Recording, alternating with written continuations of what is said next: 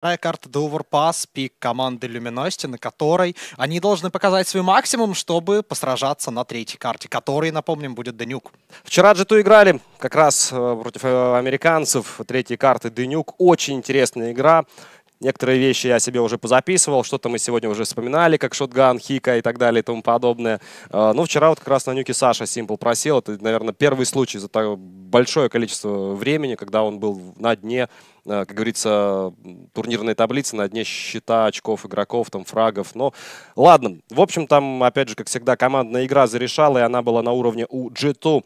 Э, только что вот э, в куларах говорили с Лениным, что вот я ему, по крайней мере, говорил, что давненько вот я не видел такие две мощные команды, чтобы сходились и рубились на равных. Говорю, что вот раньше таких команд было 10 вот играющих в такой высокой форме. Но, понятное дело, сейчас уровень Counter-Strike, количество чемпионатов, вообще силы, которые ты тратишь, ну, просто колоссально колоссальный, ты не можешь от чемпионата к чемпионату вот так жестко играть. И самое главное, уровень команд тоже меняется очень быстро. Те, кто еще полгода назад э, не попадали в десятку, там спустя полгода могут вот вполне оказаться в пятерке лучших. Да и и никто этому не удивится. Да и в этом году вот появились все-таки, ну, чуть ли не впервые в киберспорте такие вещи, как травмы, которые серьезно повлияли на баланс сил. Вы вспомните э, историю с Олафом, вы вспомните историю с э, Гвардианом, который, как по мне, еще до сих пор не отошел. Вот. Э, даже Шокс как-то в своем твиттере писал, что у него тоже были подобные проблемы с запястьем. Он, правда, с ними очень быстро э, справился, как оказалось. Но сам факт, подобные записи были. Что ж, леди и джентльмены, начало второй карты, финальный отчет и пистолетный раунд. Люминосити в защите защите, G2 в атаке. Удачи командам, ну и, конечно же, нам с вами такого же КС, как и на Дасте,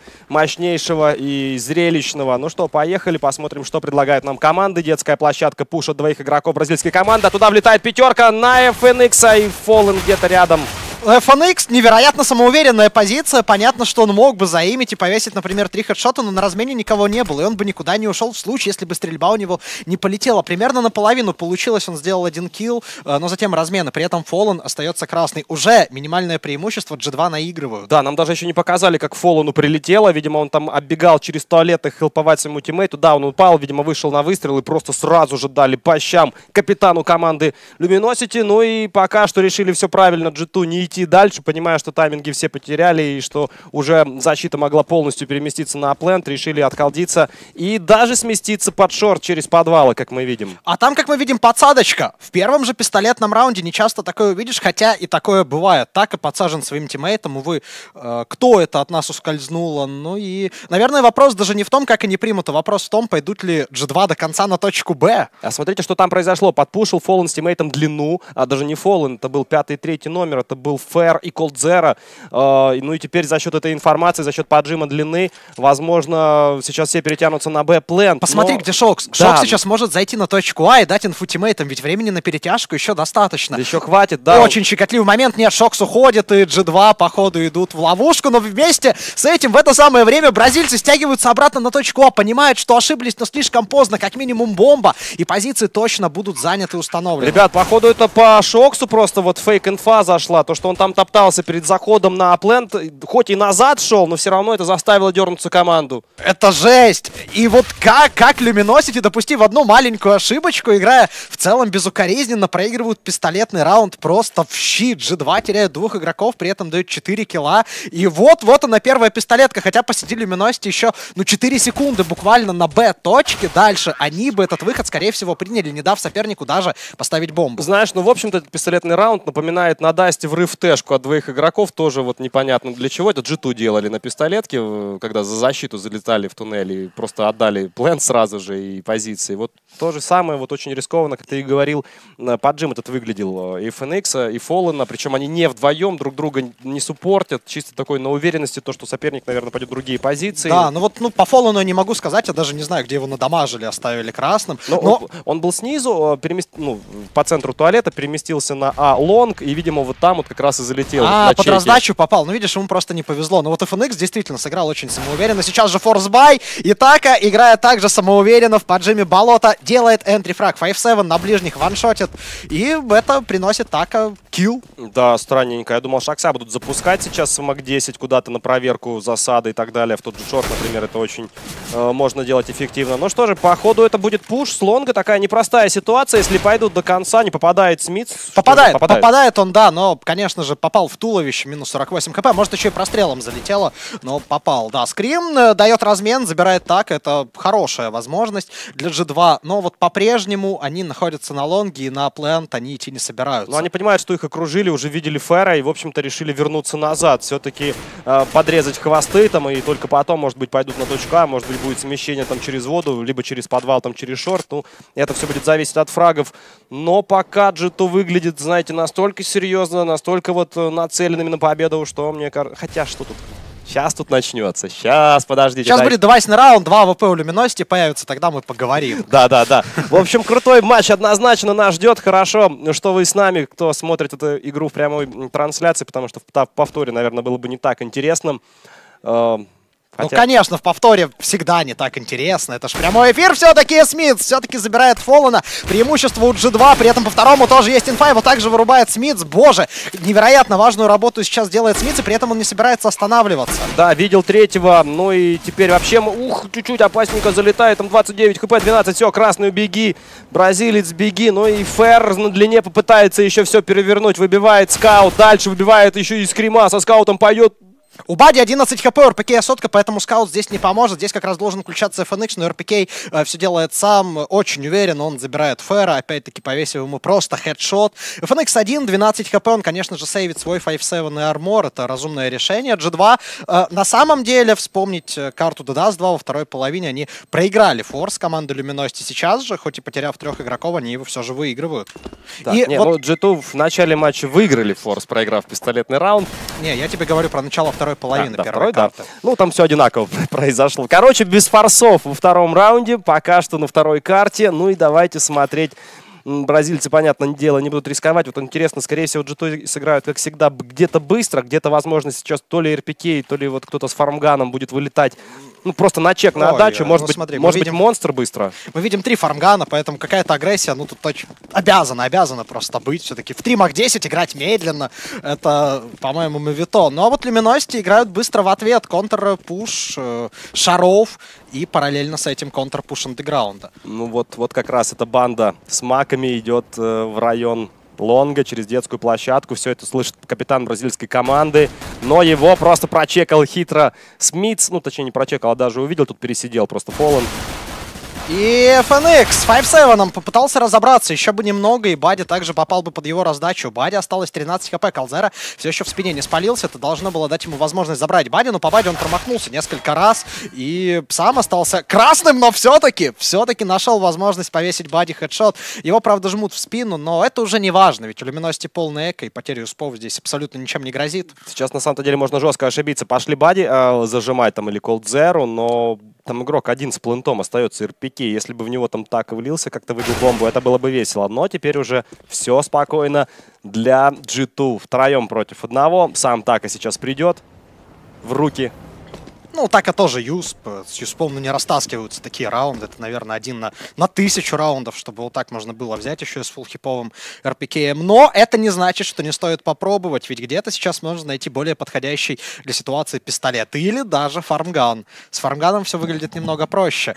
Но, конечно, все это маловероятно. Что касается G2, они просто зашли на точку Б, просто установили бомбу, ну и просто будут ждать. Вряд ли будет какая-то контрагрессия, разве что от скрима у него 32 хп ХП, и как раз-таки сейчас он встретится э, лицом к лицу с Така.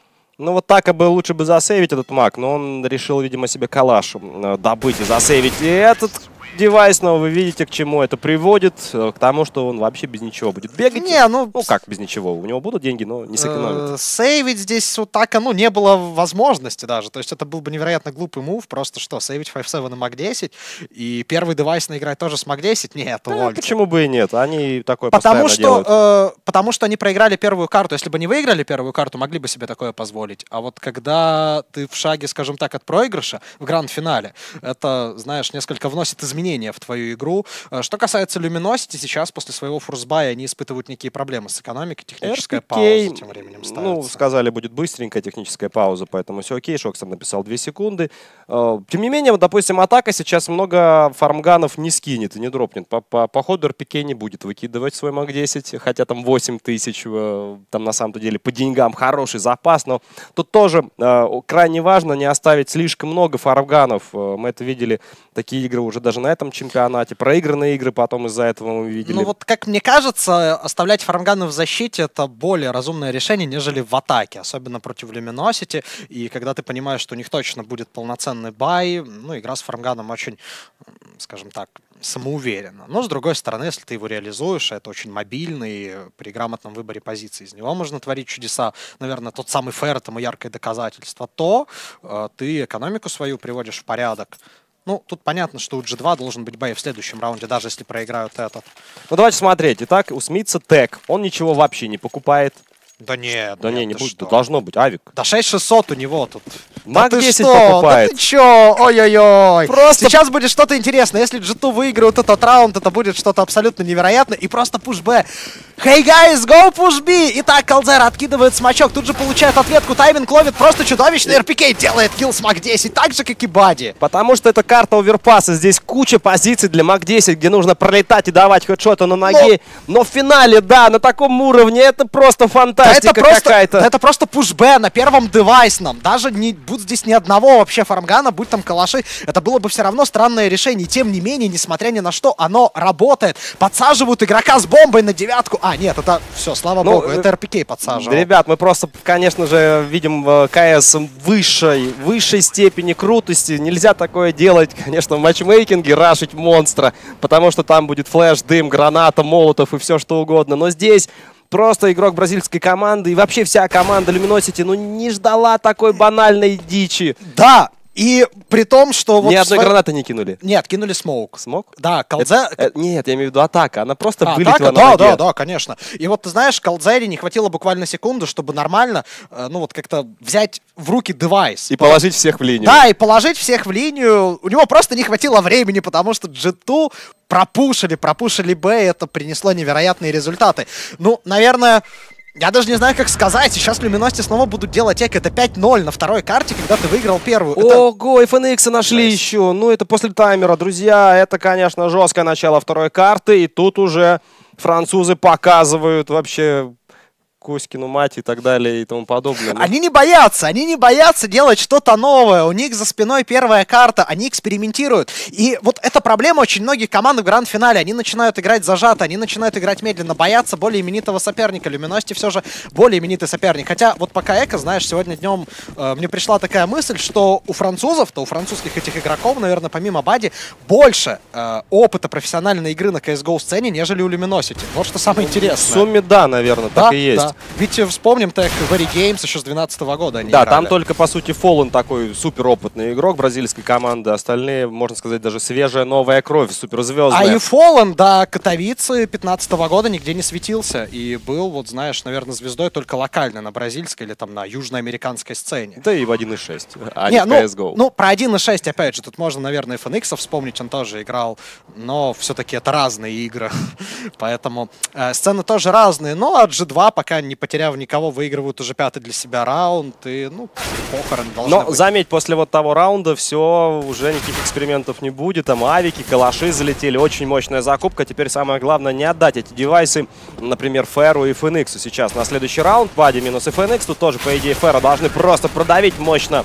Это делает э, G2. 5-0 на второй карте, 1-0 по картам. И так в пользу французского коллектива. Ну, все идет к тому, что эти ребята заберут э, просто легко так финал. Нет, бразильцы не должны так просто Вот сдаваться. сейчас будет очень показательный раунд. Если Джито отожмут его, ну, вряд ли они здесь в очередной раз будут пушить. Конечно же, это было бы не то, что самоубийством, просто сверхопрометчивым решением. Но если они, используя там свою заготовленную тактику, выиграют Могут, раунд, тогда могут да. пушить. Скорее всего, Что, ребята, это серьезно? сейчас на short пойдет атака. А, Это будет очень непредсказуемо, вообще неожиданно. В очередной раз такая наглость. Да, налево пошел Бади, и сюда же Смитс. Ничего, не палится. Ну вот не дал ему этот smoke сделать свой килл, хотя, по-моему, это был не столько Но уже smoke, трое под шортом, и уже split можно делать. Просто вот прошло 10 секунд. Но в девятке, в девятке, по-моему, находится Фэр, если не ошибаюсь, он стрейфится именно там. При этом по лонгу информация тоже есть. А Фэр. всё, вот тебе фэр дым, Но потому что там нужно эту воду постой. контролировать. Но на приеме хорошо, вроде Колдзер, атака дает минуса, Бади отвечает, Смитс отвечает. И Колзеру должны находить, Шокс точно знает, что кто-то, один из игроков ушел обратно на внутреннюю сторону трубы, э, но забрать его не получилось. И ситуация 3 в 3 при установленной бомбе для G2 это не очень плохо. Главное, чтобы Фоллану в девятке вот не отдались. Да, это для LG не очень хорошо, потому что Cold Zero контролировали. Он точно так же, как и на Дасте при Аркаде, просто влился, как говорится, в Тэшку, влился в монстра. Ну и смотрим, и FNX, Шокс отвечает, есть минус от Смитса, вот он туда же Фоллана перестреливает, также включился в финал. И этот игрок, все играют тут же и очень хорошо. И FNX, в общем, какие-то возможности остаются. Соточка ХП по Смитсу, настреливает довольно смачно, остается с 50 после хедза перестрелки, дает фейк по дефьюзу бомбы и ждет выхода от соперника. А соперник не идет, Шокс на опыте точно знает, что FNX на морозе дефьюзить не будет. Хотя, если бы FNX это сделал, он бы выиграл раунд. И Шокс только сейчас... Нет, он вообще не бежит, не открывается, еще и вырубает. Вырубает FNX. Боже, почему ты не дефьюзил? Ведь времени не было никакого. JV, вот, например, в такие моменты он садится, дефьюзит на морозе. Все, ему наплевать на весь мир. А тут мы точно видели, что Шокс бы никуда не выходил. Но это мы и... видели, по идее, тут на самом-то деле вот фейк диффуз тоже выглядел логично. Но нужно было ну, сразу продолжать. Бы, да, да, да. да но, а вот с другой стороны, ты себя в какое положение ставишь? Если ты даешь уже вот второй раз этот звук, то соперник точно на это ведется.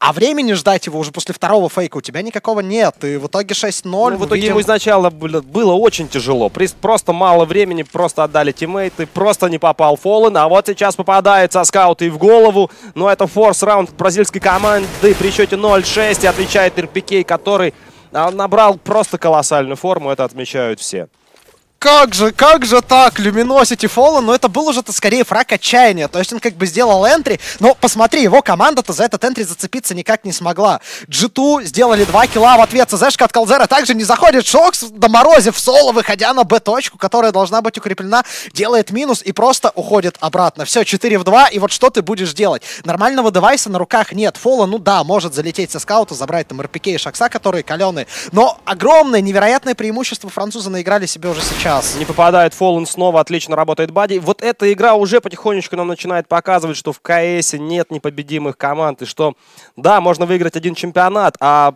попробуй это сделать два, три, четыре раза подряд. Это крайне сложно, и только лучшие мира всего это и делают. Ну, Luminosity брали несколько чемпионатов. Нельзя сказать, что не, они не, взлетели я... там только на MLG. Да. Я про это и говорю, что они слишком долго в этом топе. И слишком тяжело находиться постоянно на первом месте рейтинга. Твои игры весь мир смотрит, твою позицию, твои тайминги там секунду в секунду уже знают да. на картах, куда ты перетягиваешься и когда ты это делаешь. И ты должен всегда перестраивать игру. Всегда работать над процессом тактик, каких-то изменений и следить за тенденциями, еще больше следить за соперниками, это крайне сложно. Ну, это лишний раз напоминает нам о том, что, наверное, тот самый э, рекорд команды NIP, какого 12-го, по-моему, года уже никто не побьет. Ну, Там возможно. тогда стрик был из 80 с чем-то вообще не проигранных матчей. Возможно. Ну а Фоллен сейчас занялся, мы тоже понимаем, там личной там кибершколой, какими-то уроками. А в это время команда G2, зная, что Фоллен это делает, тренируется по 15 часов в день. Ну, сейчас сумасшедший уровень КС, конечно же, и раньше он такой был, но сейчас просто я не знаю, как заставить себя столько тренироваться каждый день. Это очень непросто. Закон джунглей выживает сильнейший, сильнейший, как мы видим, пока действительно G2. Но, наконец-то, у Люминости появляются две снайперские винтовки в рамках карты The Overpass. Подобного мы еще не видели. Возможно, именно этого и не хватало бразильцам, чтобы набирать раунды. Что ж, посмотрим. G2, наконец, начинают играть медленно, перестают пушить. Кстати, и к этому Люминости были готовы укрепления на Б. Э, но G2, вот несмотря на то, что почти минута времени прошла, сидят на детской площадке и просто ждут контрагрессии. Побаиваются сейчас, либо пойдут туда проверять до конца, либо вообще не пойдут просто перестроиться на очередной сплит. Судя по всему, это и так и произойдет. Ну что ж, друзья, очень интересный, классный КС нам показывают G2. Luminosity пока не могут с этим делом справиться, не могут перестроиться. Знаете, на местами их просто перестреливают. Правда, сейчас замечательная атака дает два минуса. Казалось, что и один уже там сложно сделать. А да, как второй, так он еще и прыгнул. Его в этом прыжке все равно не смогли разменять. Калзера тоже начинает включаться. С АВП у него летит невероятно хорошо в последнее время. Смитс пытается вытащить клатч, но, к сожалению, э, вот, ну, он забрал Фэра, промахнулся как раз по второму, будучи в блайнде блайнде. Времени 20 секунд, и Фоллан уже в спине. В общем, у Смитца здесь вариантов немного. Хотя ждет, ждет Фоллана в этой позиции. Попытался развести, у самого пятерка хп осталась. У Габриэля Толеда, имею в виду, но свой минус он находит. Что ж, 7-1. И это может быть началом долгого, веселого пути ну, камбэка от бразильцев. Или пос нет? Посмотрим. Пока рано про это говорить, потому что у них по-прежнему очень мало денег. У G2 все с этим хорошо. Кстати, я не понял, почему G2 вот в этом раунде дым на 9 не дали. В предыдущем они так классно закрыли эту позицию. Но, опять же, решающим фактором как раз раз, наверное, был прием Тако, большинство для защиты. И, в общем-то, концовка этого раунда явно была за бразильским коллективом. Ну что же, теперь уже есть знания о двух АВП и у G2. Они, конечно, с этими с этой инфой могут немножечко по-другому сыграть. Давайте смотреть, там поджим, там встреча будет на детской площадке вот-вот. Ну, итак, у Шакса мы видим, появляется тоже вторая снайперская винтовка. Это то, что многие болельщики э, Ричарда, ну или Ришара Попилана ждали, он все-таки француз. Э, но не спешат ни те, ни другие, разве что поджим из дуги имеет место быть от Фоллана как раз-таки. Но он ничего особенно не смог поделать, уходит чуть подальше. Хотя позиция на шаре у него по-прежнему ну, была неплохая до того, как лег смоук. Но по-прежнему мы видим РПК и Шакса, которые находятся под Б-плентом. Один смотрит монстра, второй э, туда на воду, на шорт на пятачок так называемый. Ну и пока больше ждут, наверное, действий своих тиммейтов. Хотя пошел РПК на монстра. И вот сейчас вот-вот мы увидим эту встречу стака. Первый контакт. Ну, Така вот не хочет рисковать лишний раз и открываться под шквальный огонь РПК, Это поэтому выход. Э, он стрейфится. Ну, Фоллан, в общем, по-моему, этот фейк э, бреет на корню, как и Калдзера, который принимает РПК под точкой Б. Откровенно неудачный раунд от G2. Какая-то задумка была, двоих выпустить в Б, но, по-моему, поджим дуги от Фоллана спутал все карты. Ведь он, сделав минус по Смицу, э, по-моему, выбил бомбу. И у него была инфа по бомбе. В итоге, ну, 30 секунд времени, у тебя меньшинство, то есть минус два игрока. И вот что в такой ситуации ты будешь делать? Ну, давайте смотреть. Будут идти на точку А. Вообще, G2 стоит пересмотреть э, свои тактики на следующие раунды. К ним уже привыкли.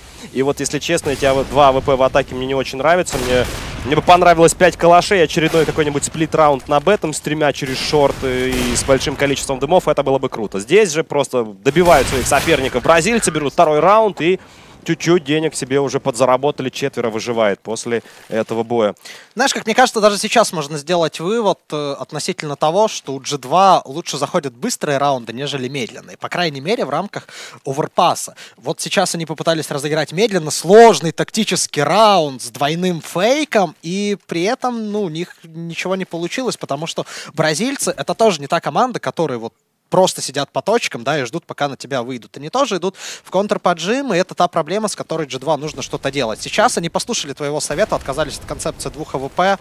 Ну, хотя бы одно, это уже хорошо. Ну, посмотрим, что будут делать дальше. Фоллен минус Смитс, вот и АВП падает тоже. Единственное, оно, мне кажется, вот просто не надо. Но ребята совсем скоро поймут, что на Б у них раунды будут гораздо лучше получаться, быстрые, вот динамичные. И все-таки эти два раунда, которые взяли Luminosity, по-моему, если не ошибаюсь, не было энтри-килла ни одного от атаки атаки. И, в общем-то, вот когда нет энтрикила, бразильцы очень легко заканчивают эти Ну, раунды. вот, э, знаешь, говоря о пушах Б, Luminosity сейчас играют старт раунда в укрепление этой точки. И G2 будучи профессионалами, точно об этом знают. И поэтому, в общем, на точку Б быстро они не ходят. А вроде как тоже не пропушишь против снайпера. Но сейчас Фоллон промахивается, только это спасает. На самом деле, по-моему, Шокс выпрыгивал, хотя я не уверен. Ну, там, кстати, бразильцы сделали все, вот то, что от них тоже ну, нужно. Монстра они принимают, там уже пошло, там все хорошо. А, проблемой будет как раз выход на шорт, поэтому они будут делать там подсадки, как раз контрить первого игрока и пытаться вот в ближайших раундах сделать именно там минус. Это вот их стиль. Но посмотрим, все-таки есть, э, пошел выход от Скрима, отвечает Фолу, но Скрим очень хорошо входит в плен, 3 в 3, продавили, и совсем скоро, может быть, будет и бомбой. Посмотрите, ну, РПК здесь просто все проверяет, смотрит спину. Так, как грамотно, как грамотно геймерсту тянут время, невероятно, просто грамотно они это делают. Бомба устанавливается, где саппорт? Почему никто скрима не прикрывал? Так она абсолютно морозе вырывается из ямы, делает минус, предотвращает установку бомбы. И это 2 в 2, но времени очень мало у французов. Калдзера один килл, Шокс один в 2 остается, точно знает, что так и находится за машиной, но вот как ты уже эту ситуацию разрулишь? Да, мало секунд. Можно, можно, он знает. Ну, Ой-ой-ой, слышит второго, вот теперь уже точно нельзя. Ну, 4 секунды И второй убегает. Ну, на самом-то деле, вот ты говорил грамотно, и, с этого момента ребята жестко натупили. Вот когда на бомбе, когда пробежал игрок на фуру, из фуры дал минус бомбпленту, это жестко. Ну, вот это, это был провал. Это как раз вот та ошибка, которой, наверное, Luminosity от G2 и ждали. Ведь э, если бы хотя бы один игрок прикрывал спину бомб Кэрри, этот раунд выиграли бы G2, они бы отжали первую половину. У Luminosity вновь был бы экономический провал, и все, у французов было бы замечательно. Но вот так ошибаться в гранд-финале это чревато. Ну, жестко, сейчас... вот сейчас жестко, действительно, они ошиблись, да. потому что он даже мог ставить бомбу ближе по длину, чтобы его хоть кто-то прикрывал. Вот, ну, видимо, то ли не договорили, то ли какая-то фейк-инфа была. Ну, короче, тоже не какие-то боги, они тоже ошибаются. И, понятное дело, КС очень простая игра. Кто меньше ошибается, тот и побеждает. Ну что же, есть entry kill от G2. Вот теперь посмотрим. Минус FalleN причем. Хорош! Вот это хорошее начало. FalleN, э, как и в прошлых раундах, по примеру прошлых раундов, играл достаточно агрессивно со своим АВП, ища возможность сделать entry frag. Э, но как-то не получилось именно в этом раунде. RpK его подловил, и это хорошее начало для G2. Вот при том, что еще хотелось бы обратить внимание, Luminosity с экономикой по-прежнему не все гладко. То есть G2 э, все еще, выиграв раунд, могут заставить соперника делать либо эко, либо очень плохой бай. Согласен. Ну и было бы логично, наверное, в этой ситуации все-таки G2 в концовке этого раунда все равно на Б стянуться, хотя вот, э, если обратить внимание на номер 7, он уходит с воды, уходит с монстра. Ну и, видимо, это все-таки будет выход на А-плент, на котором ну, по сути, три игрока, по сути, там засада. А почему нет? В прошлый раз у G2 это уже получилось. Они зашли на точку А и, ну, опять, еще раз вспоминаем эту ошибку сейчас. Еще имея преимущество в одного игрока, это выглядит абсолютно правильным решением. Разве что Luminosity, ну, читают этот откровенный мув, правда, не в той точке они его читают. FNX, тем не менее, разбирается с РПК, Шокс, э, получает также свою порцию свинца, ФР включается, минус скрим, ну и проблемы. Да это просто провал, на самом-то деле, побоялись там попасть под Ави Колдзера из 9 догадки, а в итоге попали вообще в жесткую ситуацию. Но Бади борется со Смитсом и остается один колдзера против двоих. Ну и снова посмотрим, будет ли какой-то супер клатч от этого парня. Новый момент, новая татуха. Нет, не будет суперклатч какого-то. Все-таки ситуация здесь была, ну, совершенно не та. Даже если забираешь первого там Савика. Он, видишь, даже Савиком не открывался. Он понимал, что или два хедшота, или уже все. 8-3, в общем-то, G2 берут первую половину. Что у LG по деньгам 2400, 200. На такие деньги, конечно, не закупишься. Придется делать эко. Но при таком счете экономический раунд это, ну, вот хоть и необходимое, но невероятно болезненное решение. И G2, вот это понимаю, дали друг другу пятюнечки, кулачки, э, болельщики тоже есть в зале. Напомним, что этот лан-финал э, проходит в городе Лондоне, стадион Уэмбли. Ну и там тоже есть свои болельщики. Да, ребята, все-таки хорошее начало 7-0, и причем при этих 7-0 особо там э, очень много раундов по 4 игрока выживало у G2, дал им очень большой запас по экономике. Они проиграли 3 подряд на... А, выигрывают 3 подряд на оружии, и эти гады снова закупаются и переворачивают тебя, дают энтри-килл по фолу, ну и ты снова сливаешь. Вот просто, на самом-то деле, вот жесткое такое начало. Возможно, вот этот эпизод с э, фармганами в четвертом раунде где-то помог по экономике команде G2. Они там сэкономили и подзаработали еще. И, может быть, вот как раз вот эти деньги на этот раунд. Ну, это они... еще один аргумент в пользу того, э, насколько эффективно можно использовать фармганы на первом, на, именно на первом девайсном раунде. То есть ты не тратишь деньги на кольт, и при этом продолжаешь оставаться Да если мобильным. я в матчмейкинге МАК-10 куплю на первый оружейный, меня кикнут просто. Да, а вот, вот фишка в том, что покупают очень редко. Его сохраняют, э, ну вот, с эко своего соперника. Да, да. Но мы видели, что в этом матче, например, с, по-моему, Смитс его просто купил, когда у него было там 7000 тег на руках. Он его взял и еще и докупил, и они пошли и настреляли с ним. Э, два тека, напомним, играли в четвертом раунде. G2. Ну, в общем, очень интересный Counter-Strike, даже несмотря на счет. Если бразильцы начнут отвечать, будет все вообще в три раза интереснее. Ну что же, появился Калаш, Калаш э, Фер, тут даст что-нибудь? Нет. Ну, с Юспом-то очень тяжело. Вот еще раз отмечаем о том, насколько Юсп хорош на пистолетных раундах и насколько он плох на всех остальных. Ну, Бади забирает FNX. Очень хорошую стрельбу. Кстати, это то, что хотелось бы отметить отдельно. Демонстрируют французы. Конечно, не менее хорошую стрельбу демонстрируют и бразильцы, но не в этом эпизоде хедшоты летят. Интересно будет посмотреть вообще за процентами хедшотов не только от Скрима, но и от всех остальных. Скрим-то понятно, там точно будет за 60%, но вот э, у остальных французов не намного хуже. И это опять же мета, которая прослеживается еще с Tag Games 12-13 года, когда, э, например, Скрим уже тогда носил такое неофициальное звание лучшего имера планеты. На одном из чемпионатов 2013 года он э, перевалил за 80% хедшотов. Да, понятно, поэтому его и купили за такие деньги, поэтому он столько и ценился. Но, опять же, в КС всегда важна команда и коллектив. И вот то время, когда Скрим, ну, можно сказать, не был в топовой команде, да, это время вот как раз обучения наверное, G2 и, конечно же, еще там предыдущее время решафлов. Вот теперь уже, когда коллектив стабилизировался, все пошло. Кстати, вот пока раунд только начинается, Скрим очень сильно рисковал по тегам Эпсилон, когда забанили всех тиммейтов за сливные ставки. Только Скрим, напомним, избежал наказания. Тогда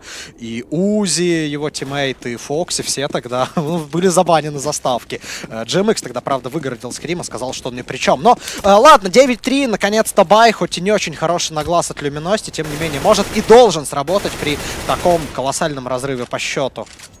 Да, молодые, это вам вот урок. Не играйтесь со ставочками, потому что так, может быть, у вас будет сумасшедшая классная карьера в мире киберспорта. А так вы просто будете каким-то изгоем, и вас будут помнить долгие, да, долгие например, годы. э, например, Фокси это снайпер, который демонстрировал огромные надежды, э, был очень скилловым, но вот ворвался GMX, сказал, тиммейты сливали ставки, и все, кроме скрима, получили бан. Вот такие дела.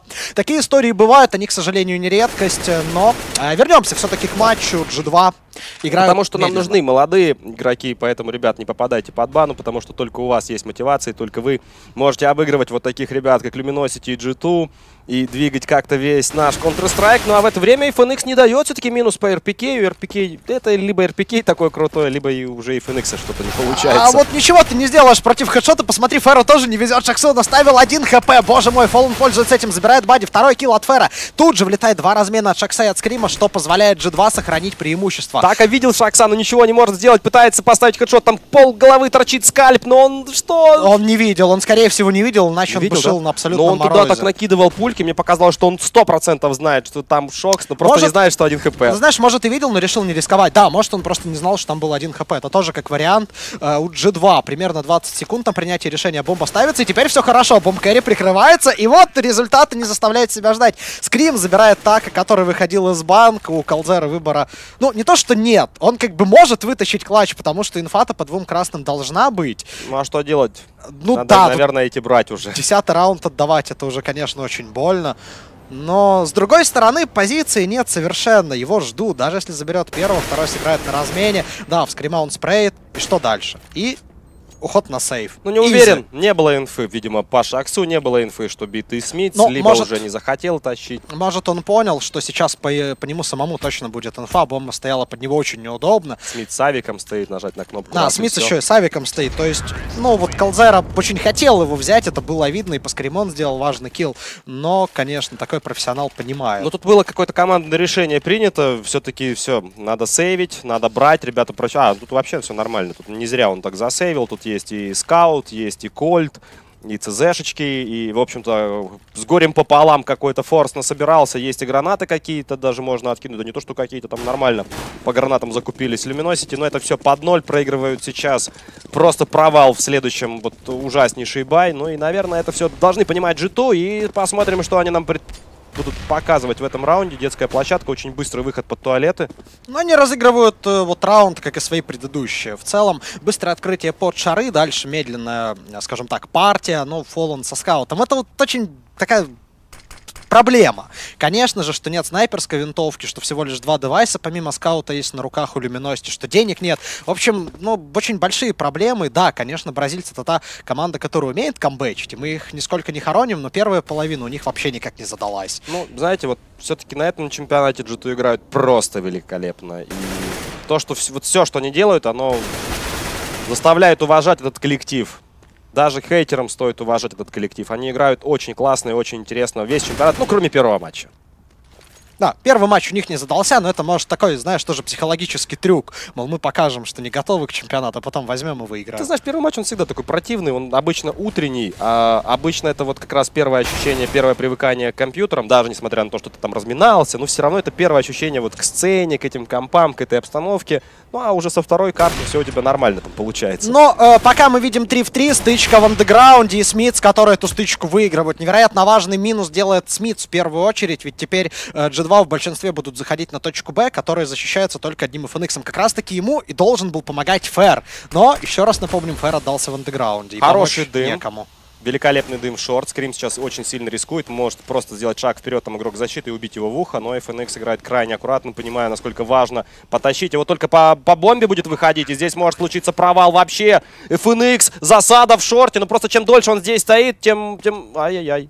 Итак, ай-яй-яй, его увидели, его увидел Бади. Это дало FNX возможность забрать сначала Смица, затем Бади. Скрим э, после минуса по фолу остается в хедзапе против FNX, но спрей не пошел, и FNX Переигрывает Скрима его же оружием, то есть хедшотом, дефьюзит бомбу, и это четвертый для Люминосити. Сложнейший абсолютно раунд, квадро килл от FNX, но Люминосити, несмотря ни на что, его выигрывают. Вот красавчик. Нужен повтор из глаз Скрима, потому что он стал на шорт, потом, я, я понимаю его мысли, он, он сразу же понял, что, в принципе, есть инфа, и там чудо ли соперник, э, видя там монитор тиммейта, будет буквально с прицелом на его голову выходить, решил уйти за ящик, потом решил, да нет, надо принимать, и в итоге и не то, и не то. Даже поставил там неплохо с первой, но Дальше, видите, там чуть-чуть, одно, одной пульки не хватило. Вот если бы, по-моему, просто стоял, либо просто ушел в воду, это было бы лучше. Но... Вот тут, наверное, знаешь, как раз-таки всплыли единственные, наверное, проблемы Скрима как игрока, это со спреем. Вот он не очень дружит, но сейчас, боже мой. Так, а этот опять просто пуш точки Б.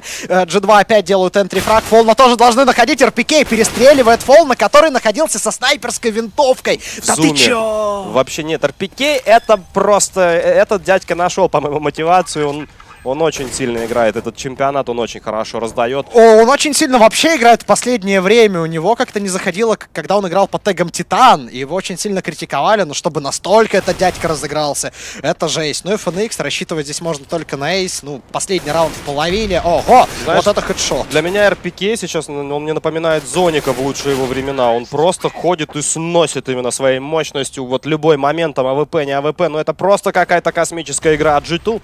11-4, а согласитесь, могло все быть еще намного жестче. И, в общем-то, посмотрим, если не зайдут пистолеты у бразильцев. Это, наверное, просто the end. Но увидим.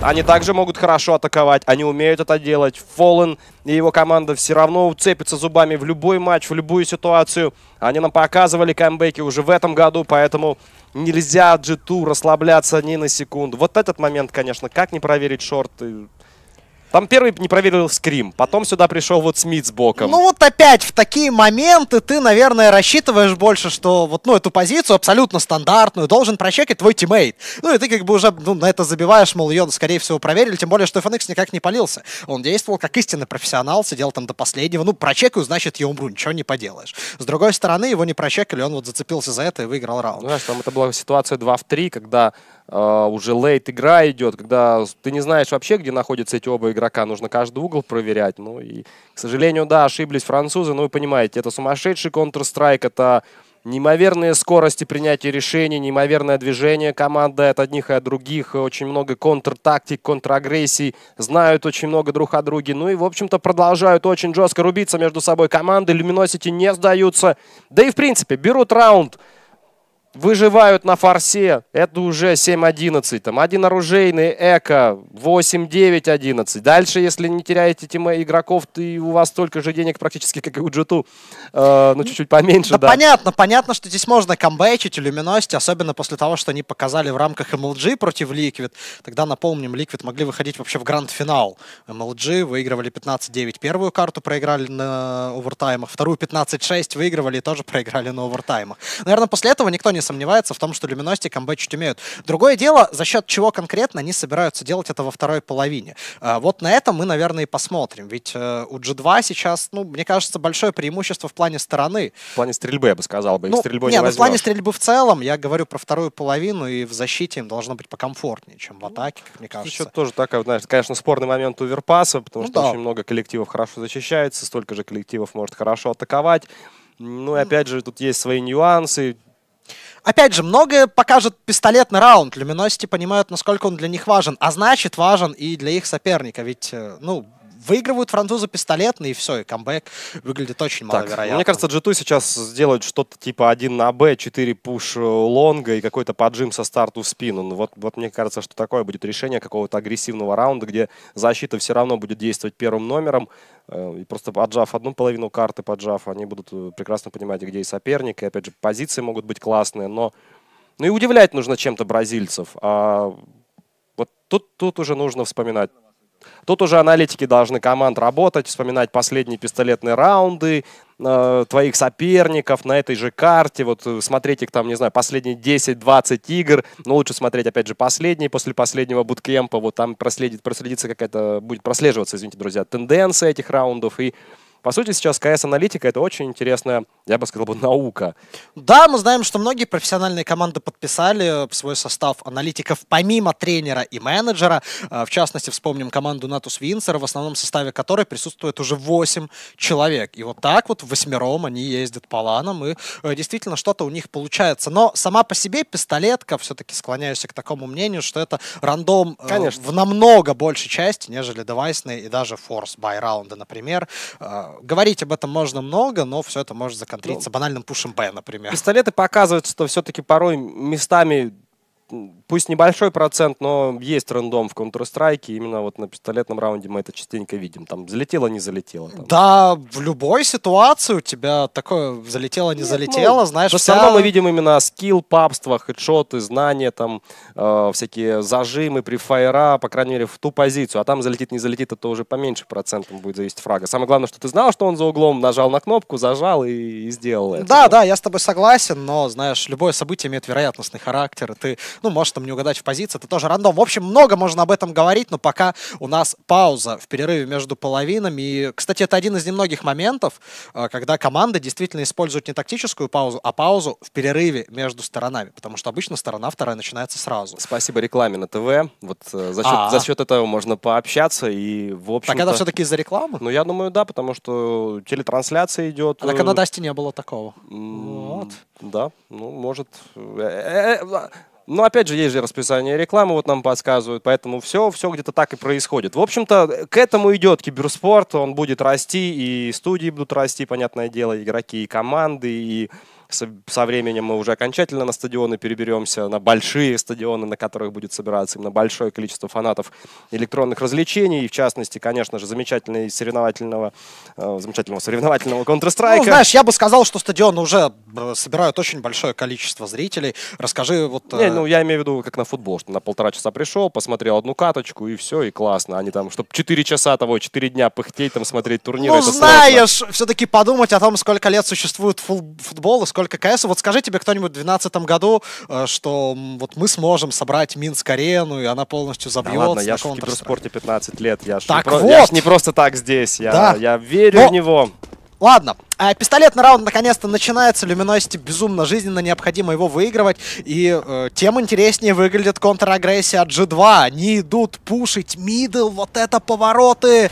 Причем И- это один игрок, а за спиной у него трое на А-пленте, на этой же точке. И Шокс после своего entry тут же уходит обратно. Его пытаются забрать спину, но на вертухе Шокс дает сразу две головы. Боже мой! Еще и Фера забирает. Как это происходит? Ричард Папийон, ты мой бог! Только так и смог его остановить. Но какой от этого толк, если бразильские болельщики плачут?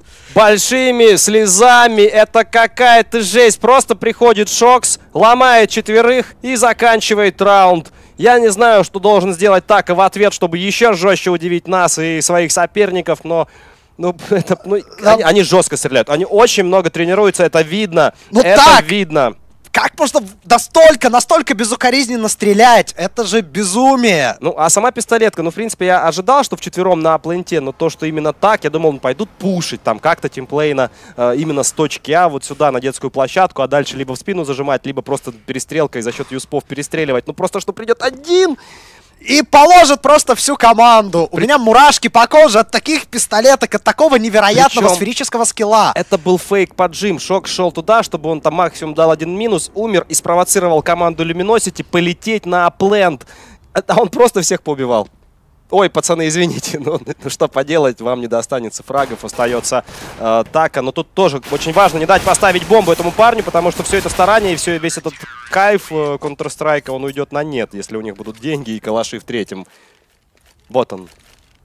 Вот он. Вот можно вот молча смотреть за этим и плакать от радости, потому что когда ты видишь такой скилл, ты понимаешь, что не все потеряно. При этом G2 побаивались выйти ну сразу на, на размен, потому что думали, что он здесь не один. Ну как это возможно? Вот объяснит мне хоть один человек на планете, как это возможно. А кто это последний опыт там убивал так долго? А, Фэр, Фэр это, по-моему, был. тоже жестко, не зашло у кого-то. Настолько- опять это глоки. Ну, Я представляю, вторая половина тебе нужно тащить, а тут уже бац, бац, бац, троих тиммейтов нету. Что там за человек какой-то играет против тебя, непонятно. Э, ну что же, очень быстрый форс, стейки шорт залетают, плюс монстр падает, бомба на монстре, но тем... Ой-ой-ой-ой-ой, не поставят, наверное, сейчас. Ну, посмотрим. В общем-то, отдается РПК, Шокс, последняя волна. Он немного ошибается, но все-таки уходит. 34 хп, его пошел давить Калдзера. Но, конечно, и здесь без толку, ведь Скрим включился и доделал основную работу за своей командой. Это 13-4. Э, вот, как ты и сказал, бразильцы не сделали очень важную вещь. Они не поставили бомбу. У них нет денег, и 14-й команде G2 придется отдавать. И G2 прекрасно понимая это дело, э, покупают 3 МП-9, как ну, минимум. Две остаются, 4 МПшки и один ФАМАС. Ну, это... Они сейчас куда-то полетят, что ли? А ну давайте смотреть. Да, втроем поджим. Э, с точки А моментально. Идут на детскую площадку. Вот вопрос, пойдут ли вниз там э, и дальше. Да, пошли в подвал, да, и один смотрит площадку. Жесткие Итак, ребята. Ну, посмотрим, что-то... Ну, нет, вряд ли. Я не знаю, как бразильцы здесь могут такие раунды выигрывать. Это просто 14 для G2, может быть, да? Да. Э, формат даже денег. Шокс, сделав 2 минуса плюс 1200 долларов. FalleN разве что уволил Смица, уволил Шакса. Сейчас Скри может полететь туда же. У него было очень мало хп. При этом Фоллен попал по нему еще раз, оставив 3 без того красного игрока. И все равно его перестреляли. Ну вот, вот как... По мне, если честно, вот такую жесткую, наглую, агрессивную игру, причем с двух сторон, могут вот вот мне кажется, реально могут Нави остановить. Вот, вот у них есть фишка к этому, но... А, дело в том, что G2 сейчас показывают как раз-таки ту агрессивную игру, которая необходима, чтобы раунды выигрывать. То есть, ну, не каждый пуш может быть эффективен, ну, это все нужно делать очень вовремя, да. Не каждый поджим может быть эффективен, но сейчас у G2 получается абсолютно все, что они намечают. Да, но я к тому, что пропагандировать такой стиль вот несколько турниров подряд будет очень тяжело. Уже на мейджоре тебя будут жестко ждать. И вот эти вот раунды, эти быстрые врывы, там антифорсы тоже как-то против них будут по-другому проигрываться. Ну, в общем-то, ладно. В этом, опять же, интересен КС. Вот смогут, смогут ли остановить на следующем ивенте хоть кто-то этих ребят из G2. Ну, опять-таки, Кёльн покажет, расставится по своим местам, покажет. У нас здесь удачный, невероятно удачный отыгрыш так и под точкой Б. Он, э, забрав двоих французов в поджиме, третьего также забрал, по-моему, в попытке его поджать. Ну и таким образом он очищает для своей команды Плент Б, Скрим. Вполне возможно, что-то со Смитцом сделают. Связка очень сильная. Хорошая и... хаешка. Да. 29 хп остается у Така, еще и прострел мог пройти. Ой-ой-ой, как водится прицел-то близко, вот рядышком с головой, но Смитс лишний раз, видимо, не хотел палиться. И что это будет сейф э, от команды G2, либо все-таки пойдут? Ну, уже половина времени потеряна. Тут уже никак не выбьешь. Ну, в меньшинстве, когда у тебя там порядка 20-25 секунд осталось, конечно же, нужно сейвить. А G2 при этом ничего не теряют. Раунд этот так был проигран после того, как Така сделал три минуса под Б-плентом, фактически обезопасив свою команду для выхода в эту точку. Но да, пусть Luminosity возьмут пятый раунд. Ну так и что дальше? У G2 э, хватит денег. Должно хватить на buy. Там, главное, уверенности хватит. Мы видим, что у Шакса нету, но у всех остальных есть. И, в принципе, я уверен, что G2 очень... Все у них спокойно. Все у них под контролем. Пока что их не заставили напрягаться никак бразильцы. Ну и вот э, по поводу мейджора будущего, я уверен, что как-то все-таки с горем пополам НиПы и Fnatic перестроятся. На мейджоре хорошо выступят. Ну, по крайней мере, напрягутся. Хорошо, я имею в виду, что в группах у них все будет э, отлично, а вот э, что начнется с, со старта плей-офф, это уже другой вопрос. Да до мейджора тут осталось сколько? 8 дней. Да, но... По-моему, с 5 числа он начинается. Тут времени у тебя уже не хватит, чтобы перестроиться. Ну, а... я про это говорил, что тут вообще 4 чемпионата подряд, и очень сложно вообще как-то перестроиться. Но смотрим. SmithZz хорошо принимает Фоллена со старту. Есть entry kill от защиты, атака продолжает давить. fer забирает Скрима. Важнейший минус был только что сделан. Э, и... Ну, давай будем откровенны. Скрим все-таки отдался сам после энтри от Смитса. Он мог бы отойти куда-то подальше, сохранить свою жизнь и, как следствие, преимущество для своей команды. Но что сделано, то сделано. Ситуация на карте по-прежнему примерно равная. Мы видим, Смит просел по хп, Фэр тоже. Даже в этом плане все абсолютно в равную. Но проблема в том, что именно бразильцам нужно на какой-то источник заходить. И что же они выберут? Так, вот давай дальше думать. Как ты думаешь, датчане на, на мажоре хорошо будут играть? Я думаю, что не очень. Э, Dignitas могут залететь. Astralis точно нет. Ну, моя ставка на то, что они не пройдут вот. даже в полуфинал. А вот Dignitas действительно могут, если захотят. Э, Cajun, как мне кажется, их очень сильно укрепил. В итоге Astralis, как всегда, с такой средненькой какой-то игрой. Ну, об этом, ладно, попозже. SmithZz, bodyy хорошо здесь принимают бразильцев. Важнейшие фраги. 2 в 4. Ну, что-то... Какая флешка божественная. Давай, давай, давай, bodyy, дави, гаси всех. Минус, потака есть. Reload на reload'е. fer попытался словить, но тут же наткнулся на RpK, который своей своего тиммейта засейвил. 15 раунд, матч-поинт для команды G2. Боже мой, у Luminosity нет денег, они покупают трактор. Tec-9, Галил, Калаша, что будет у Така? Наверное, тоже ничего хорошего. В общем, э, Туш, э, он же похоронный марш, наверное, где-то играет на заднем фоне, потому как Да. 10 вот, раундов подряд. Как бы Astralis все равно, знаешь, так плохо не играли, кажется, что еще хуже они стали играть, но... Конечно. Они все равно какого-то своего полуфинала доберутся, там провалят его жестко. Ну да, на этот раз кажется, нет. что действительно и полуфинал уже космическая вещь, но об этом уже будем говорить на следующей неделе, э, следить за э, нашими коллегами. Э, Мы не будем комментировать этот ивент, но будем вместе с вами наслаждаться, надеюсь, просмотром и, конечно же, всех, э, всеми играми. Ну и последние попытки бразильской команды спасти игру. 10 раундов подряд. Очень жестко. С э, 15-6 тащили, с 15-9 тащили и в полуфиналах мейджора, но вот с 15-5 мы, по-моему, еще не видели.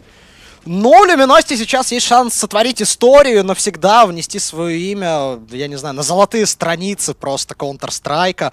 Но для этого действительно придется попотеть. И против двух снайперских винтовок, имея только два полноценных девайса и практически не имея гранат. Вот это один из самых важных моментов, когда у тебя вот два смока и две флешки, что-то сделать невероятно сложно. Так, ну что ж, судя по, по позициям, вообще по том, как расположилось тут все движение на точке, это без шансов. Скрим вместе со Смитсом поджали длину, дали минус, там здесь еще Смитс принимает, но это, наверное, просто капец для бразильцев. Э, 2 3 килла, 3, 2 в 5. Походу все, друзья. Все, без девайсов остаются Така и Фэр в этой ситуации. Бади пытаются продавить, но стрельба заходит и у него. Така играет в размене, один минус дает, находит Смеца, нужно давить, 19 хп, пистолет, скрим в спине, и это GG, команда G2 выигрывает ЕЦС со счетом 2-0 в гранд-финале и таким образом показывает расстановку сил на текущий момент. Перед мейджором действительно Конечно, хорошая форма. На эту хорошую форму все посмотрели, увидели там тактики, увидели идеи французской команды. Но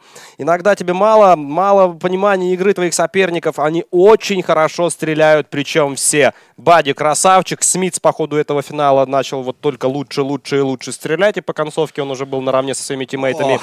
Ну просто браво, ребята, браво, G2. Слушай, ну вот как давно, по-моему, G2 ничего не выигрывали. Вот в плане таких серьезных ланов. Вспомним еще раз ESL Pro League, когда они проиграли со счетом 2-3 этой же команде Luminosity. Но, э, как мы видим сейчас, французы, как ни одна другая команда, знают, что месть — это блюдо, которое подают холодным. Что ж, э, мы передаем слово аналитикам. С Тафой же, наверное, прощаемся. Да, друзья, спасибо, что были с нами. Не забывайте, что, опять же, на следующей неделе у нас также очень много матчей нашей студии. В рамках Елик. Поэтому будьте с нами, следите за группой ВКонтакте, заходите на сайт, не забывайте Starlador TV, Starlador.com. Ну и, конечно же, спасибо ЕЦС за такой большой, крутой чемпионат. И в первую очередь спасибо вам, дорогие зрители, что следили э, за этими трансляциями, оставались с нами до самого конца. Вы большие молодцы. Что ж, э, Время прощаемся. экспертов. Да, и время экспертов.